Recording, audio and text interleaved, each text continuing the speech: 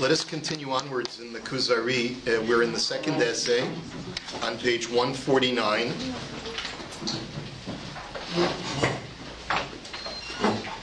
And we were talking about the explicit name of Hashem and how Hashem will only reveal himself in this way to the world in very, very limited uh, situations and in very limited windows of human history.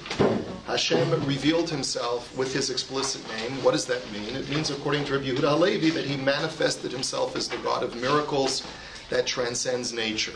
So, therefore, when he speaks to Moshe and he says, you know, uh, you're the first generation that I'm really doing these overt miracles to, where mankind can actually see that I'm the God that transcends nature. And therefore, you shouldn't be complaining, Moshe. You're Now you're going to see what I'm going to do. You're going to see the, the hand of Yud Ke Vav Ke. Whereas before, the forefathers of yesteryear had absolute faith and never questioned me, despite the fact that they only saw the God of nature. They only saw Shin Dalid Yud. That's where we left off last time.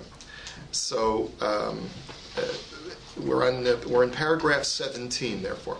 God revealed himself to Moshe and Israel with his explicit name. That is, in such a way that he left no doubt that it was the creator of the universe who was now intentionally creating these phenomena anew, such as the plagues against Egypt, the splitting of the Red Sea, the mun, the pillar of the cloud pillar, and so forth. He did this to them not because they were greater than Avraham, Yitzchak, and Yaakov, but rather because now they were many and doubts about God existed in their hearts. In contrast, the forefathers had absolute faith and were pure in heart. Even if they had confronted calamity their entire lives, their belief in God would not have weakened. They therefore did not require this kind of overt manifestation. It's not because of Avram, Yitzchak, and Yaakov's lower madrega that they didn't see the God of miracles. It was because of their higher madrega that they didn't see the God of miracles. So, of course, that explains why we don't see miracles today. We're on such a high madrega, right? Mm-hmm. Is that what Rabbi Yehuda Halevi is implying? That if you're on a high madrega, uh, that's the reason why you don't need miracles? No, of course, it's sort of like a bell curve. Um, there are people on the extremely high level who are deserving of miracles, and God says, You don't need the miracle.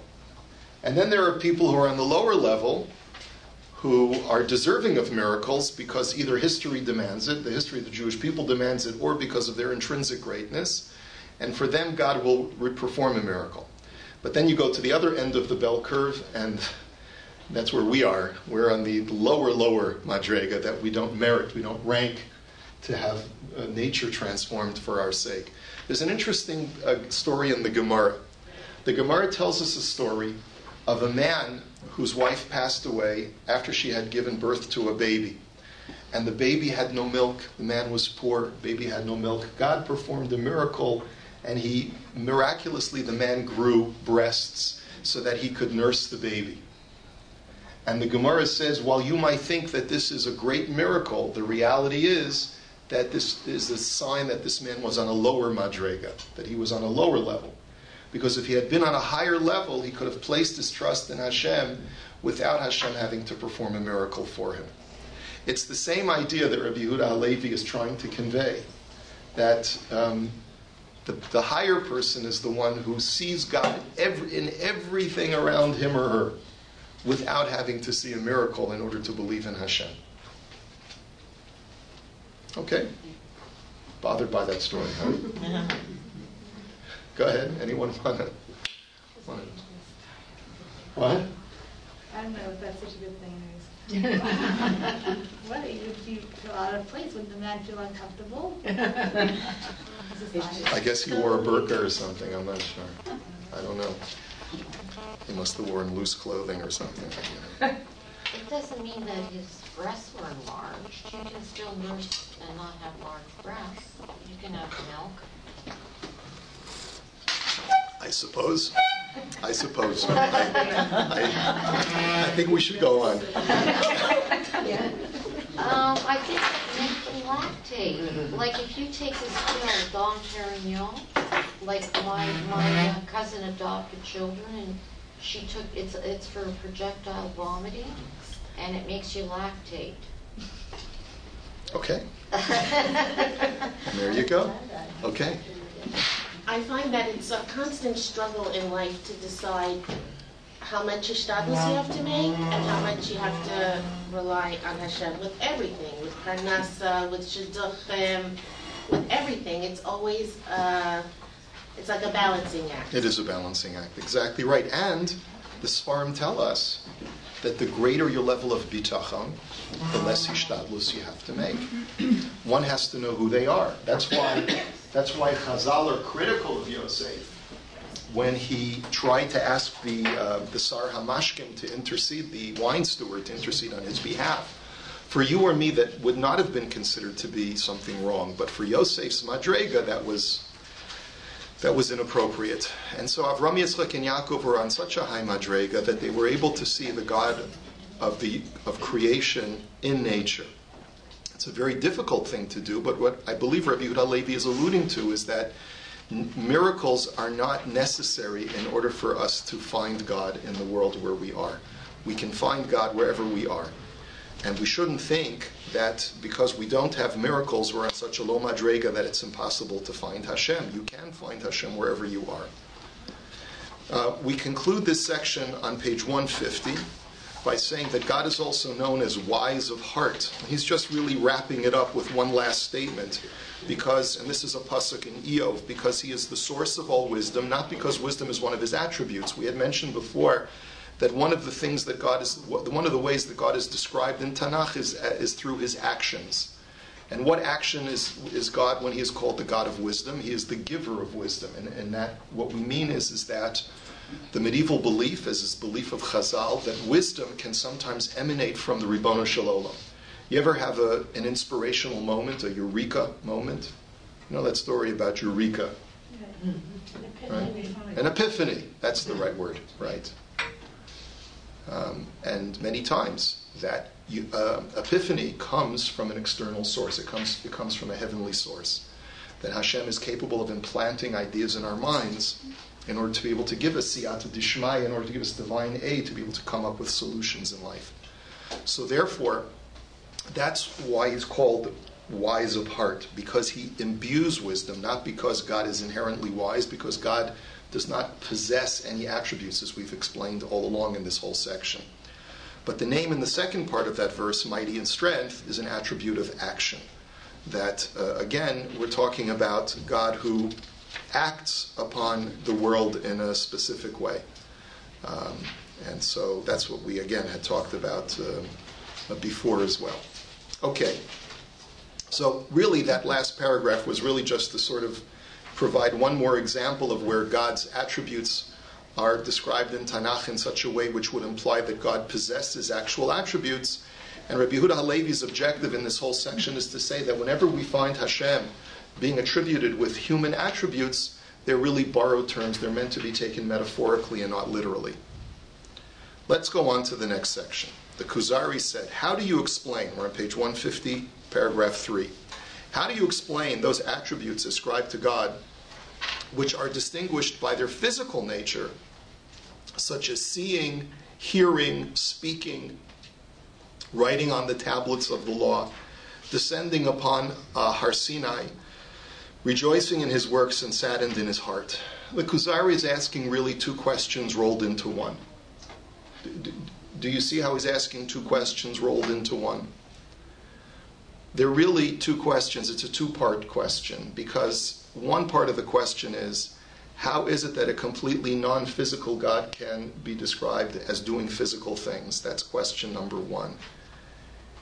Or that's actually, uh, yeah, question number one. Question number two is how do you explain God possessing human emotions, which are also attributable to some kind of physical characteristic or emotional characteristic, which, as we've mentioned before, God is devoid of? God does not have any human characteristics such as being happy or sad. And yet we sometimes find that uh, the, the, the, the, Tanakh re, re, re, talks about Yismach Hashem b'ma'asav, let God rejoice in his handiwork. Vayit atzev libo, that God was sad in his heart.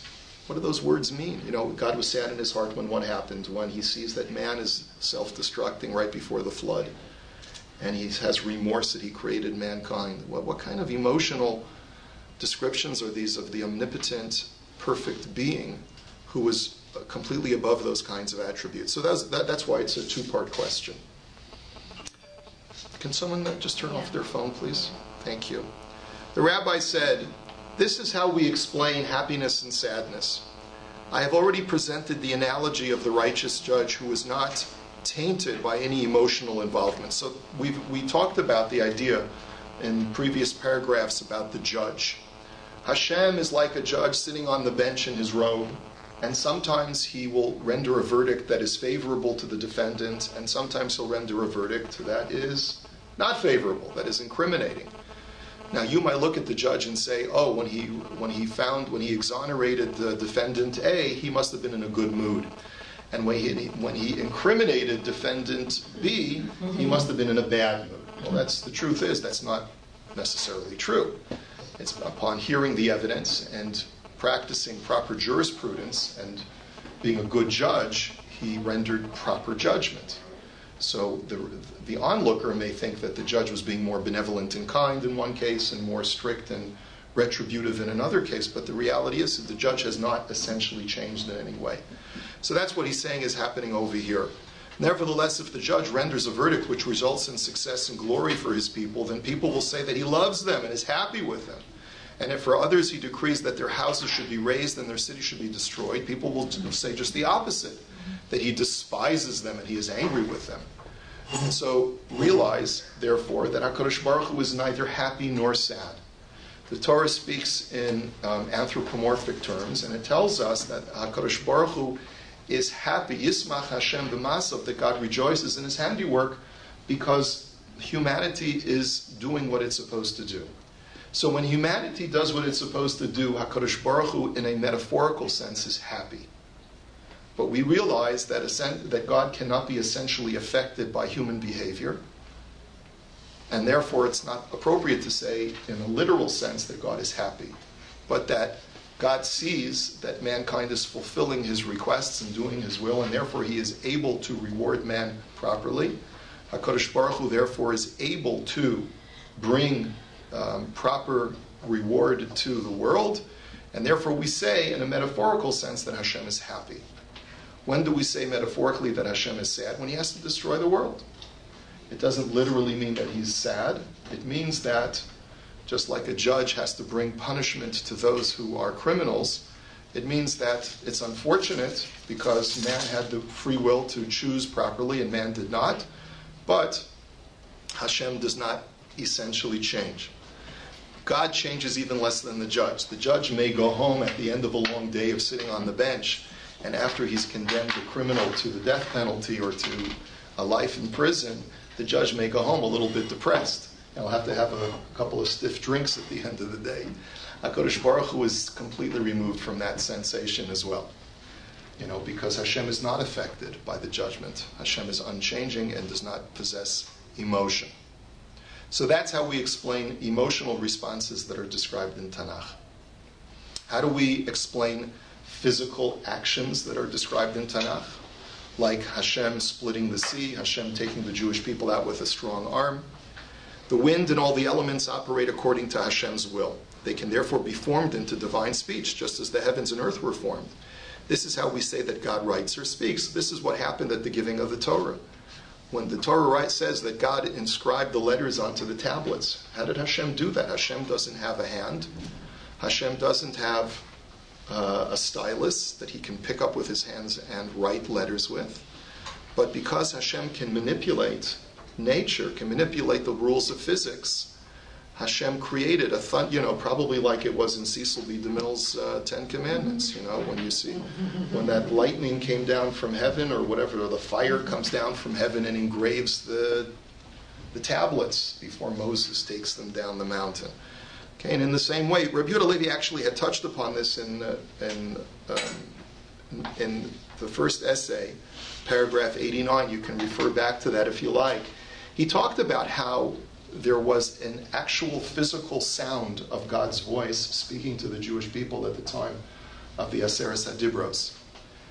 And how did God do it? So Rabbi Yehuda says, look, I don't know, I can't tell you that I authoritatively can tell you exactly how it happened, but it seems to me that God must have created some kind of vibrations in the air that could mimic human voice. Because after all, what is human voice? It's vibrations that emanate from the vocal cords and they're amplified in the, in the voice box and then come out of the mouth. That's how we communicate. We're just actually just vibrating um, strings in our vocal cords, and, that, and we're able to form them into words and into sounds. So HaKadosh Baruch Hu does the same thing with the manipulation of sound waves that he can create in the, in the air and cause them to be manipulated just like a, to mimic the mouthing of a human mouth. But it doesn't mean that Hashem has a voice. It doesn't mean that Hashem is, has any relation to the physical world. Hashem manipulates the physical world to mimic human voice. If, though, some of you may have been around when I gave my shiur the night of Shavuos, and we pointed out that for Rabbi Yehuda Halevi, it is very important for revelation to be part of the physical human experience. And that's why he emphasizes so often God's interaction with the physical world. God is not the removed metaphysical God of the philosophers. God is the immanent uh, being who interfaces constantly with the physical world. And that's why Rabbi Yehuda Levi focuses so much and emphasizes so much that God does interact with the physical world, many times manifesting miracles. The Rambam took an almost opposite approach. The Rambam said that at Matan Torah, at, Har Sinai, there was no voice. The only thing people saw on the top of the mountain, maybe was some fire, they heard a shofar sound, fine. But they didn't actually hear Hashem's voice. Because that kind of divine voice is only something that a prophet hears when he's prepared himself and also hears a sound from within. He hears the voice of Hashem from within. But Rabbi Yehuda Halevi is not happy with that. He feels that the physical experience that people have in the physical, real world, the, the physical world, so to speak, is what is the basis of our misoros, or the basis of our of our faith. And therefore, because physical experiences are not given to hallucination on a mass scale, if everyone heard, if, if a couple of million people heard the voice of Hashem that was objectively real, not just something in their minds, but was objectively real, then that's why it's not plausible that this could have been fabricated. And that's why Rabbi Yehuda Levi so often emphasizes the physical experience of divine revelation and of miracles. Okay, so keep that in mind because this this is a recurring one of the one of those recurring themes that happens throughout the Kuzari that Rabbi Yehuda Halevi will constantly come back to, and that is the idea that the physical encounters that we have had with the Ribono Shel Olam or his manifestations in this world are the basis of our belief they are the basis of why we believe that at one time Hashem gave us the Torah, because we actually all experienced it on a national level. And something that millions of people claim to have experienced in a real physical sense is not something that you could just make up. It's not, it's not plausible that one guy would have come along a couple of hundred years after the event was purported to have, to have taken place and said, you know, 200 years ago, our ancestors all saw and heard God all together, and they heard him say the following words. Someone, if, if that never happened, someone would have gotten up and said, What are you talking about? I never heard that story before.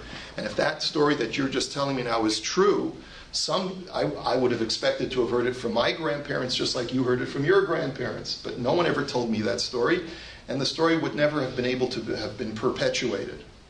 The fact that this story outlandish as it is, has been able to be perpetuated through the generations of Klal Yisrael from one generation to the next, lends plausibility to its veracity. And the only reason why it's so outlandish, if it wasn't true, is because of the physical experience that every single Jew had at Har Sinai.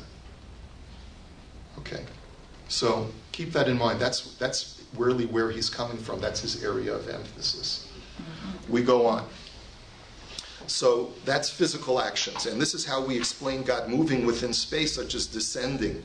It says, Vayered Hashem al Har Sinai, for example, that God descended upon the mountain. And here he gives us a very mystical approach, which I think other Meforshim would not tell us. But he says a very subtle physical visage may surround a spiritual entity, and this is known as the Holy Spirit. And he's, he's, um, he's quoting again, quoting from, from Sifrei Kabbalah. Spiritual images called the glory of God, such as that which descended upon Mount Sinai, are really made up of this visage. Sometimes this image will be figuratively referred to as simply God. This is what is meant when Scripture states that God descended on Mount Sinai. We'll, expound upon this later when we discuss metaphysics. So, what Rabbi Yehuda Halevi is suggesting is that you can have a spatial localization of divinity. That is possible. And also, it's possible even on a physical level that some kind of very ethereal essence that is supposed to represent some kind of concentration of God can descend upon one area. This will also be relevant when we talk about Rabbi Yehuda Halevi's emphasis of Eretz Yisrael, the land of Israel, which for Rabbi Yehuda Halevi is, is drenched with this kind of concentration of divinity. For Rabbi Yehuda Halevi, again, we have to connect God in some way to the physical world so that mankind can experience Hashem on a very real and experiential level. And that's why he talks about HaKadosh Baruch Hu's manifestations to the world. Now, as you'll note, the Rambam is almost the diametric opposite of Rabbi Yehuda Halevi. The Rambam goes to great lengths to distance Hashem from the physical world as much as possible. Rabbi Yehuda Halevi schleps God into the physical world, and the Rambam kicks God out of the physical world, if I may use those terms. For Rabbi Yehuda Halevi, in order for the, for, for the Jewish people to have that experiential revelation, we need to schlep God in. We need to make Hashem part of our physical world so that we can all say, we saw God, we heard God, we felt God, we experienced God. The Rambam, however, is has an almost opposite concern. His concern is not the experiential revelation, because he feels that revelation has limited uh, influence on our faith, but rather the idea is, is that we have to, because of God's essential nature and because of the Rambam is so um, committed to his philosophical depiction of Hashem, a God that is far removed and completely elevated above and transcends any kind of physical uh, association, God therefore has to be far removed from any kind of physical um, connection. And therefore, you'll find even in the 13 principles of faith that are authored by the Rambam, you'll see a distancing of any kind of physicality. And lo demus haguf eino guf, that God has no physical image whatsoever and is, cannot be associated with any kind of physical body whatsoever. For the Rambam, that's an impossibility. I don't know whether it's an impossibility for God to occupy physical space for other medievalists. You know, we're used to thinking that dogmatically it's impossible uh, that, uh, well, I don't want anyone to accuse me of being a Christian right? Um, the question is, is, is it dogmatically antithetical to Judaism to believe that God could occupy himself in human form? In a sense, it is. But is, is that the reason why we reject Christianity? That's not the reason why we reject Christianity. Not because of the profession that God uh, uh, assumed human form. That in itself, in and of itself, would not be enough of a reason to say that Christianity is wrong. Christianity is wrong because historically we know that uh, God never became this, the son, the son of Himself, right? And the rabbis of the time knew Yashka, and they saw that you're, you know you're not who you say you are, or you're not who the people, your disciples say who you are. You are not a deity. You're just a yeshiva bacher, you know. So and you're, you're a yeshiva bacher who's not doing very well in yeshiva. So we're, we're going to have to expel you from the academy. That's essentially what happened, and then that's he spun off and went off the derech, I suppose, is what we would say today, and started his own sect of Judaism. But the reason why we reject Christianity is more based upon the historical uh, falsehood of it uh, and the impossibility of the Torah being altered in any way more than just the specific issue of the impossibility of God occupying physical form. For the Rambam, that's absolutely a, a, anathema to Judaism, but I'm not so sure if it's absolutely anathema for Rebbe Yehuda Halevi. Okay? I don't want to be misquoted here. I hope I've been very clear. I am not a Christian. Everyone clear on that. I do not subscribe at all to Christianity. I have no faith in it. I think it is utter falsehood. Everyone clear on that? Okay, good. Okay. Let's just go a little bit further because I wanted us to start the Moreh Nevuchim today. The Kuzari said, Granted, you have successfully explained all of God's attributes so that they do not indicate multiplicity. And that was really the objective because God is absolute unity, so he, therefore he can't have any attributes. But the question is, how do you defend the attribute of desire, which you ascribe to the Creator, whereas the philosopher distances it from him? Okay.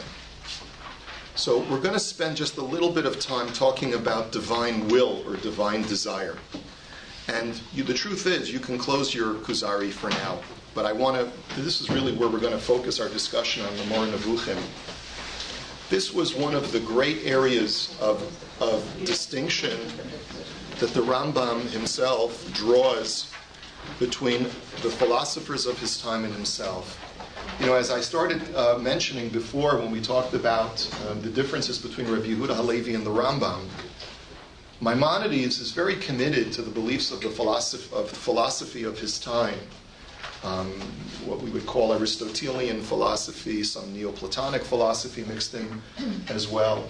And uh, it was very, very, very popular in the Arabic world at that time, the, uh, the um, uh, of which Rambam was very much a part.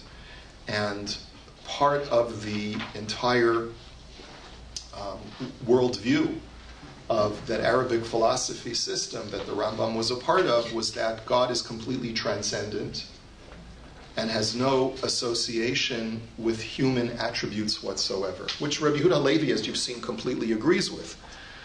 But the Rambam was even more committed than Rabbi Yehuda Halevi was to this kind of worldview, and therefore, for the Rambam, it's a serious problem.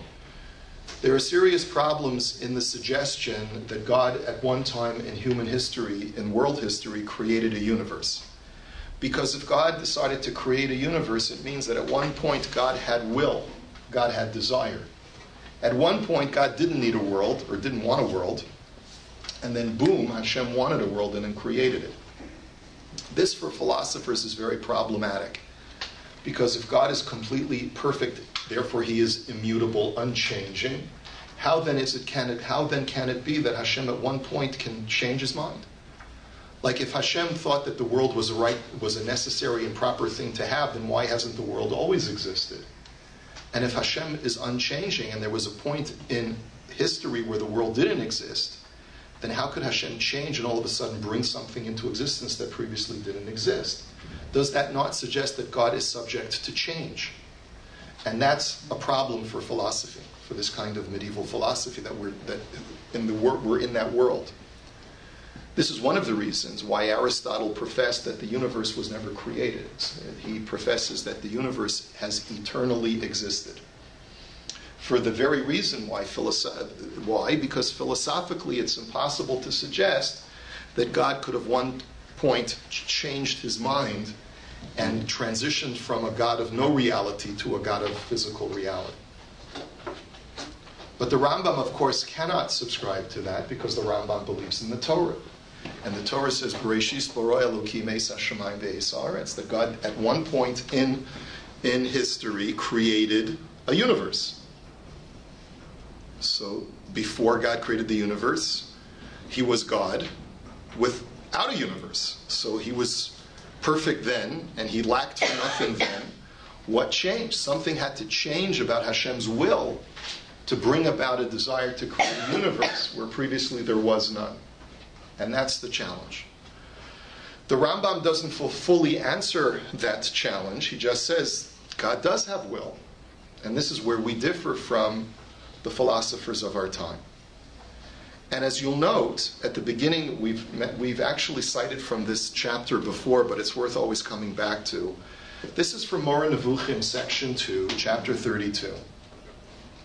If, uh, if you ever want to have an English text of the Moreh Nevuchim for free, it's on Wikisource. Uh, this is where I copied it from.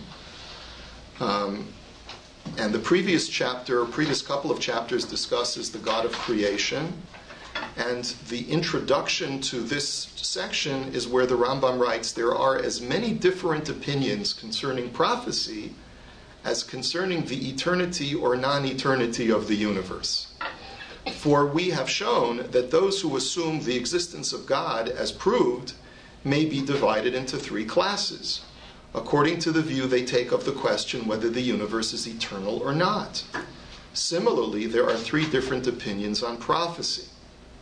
Now, the question is what is the Rambam doing comparing the three views of creation to the three views of prophecy?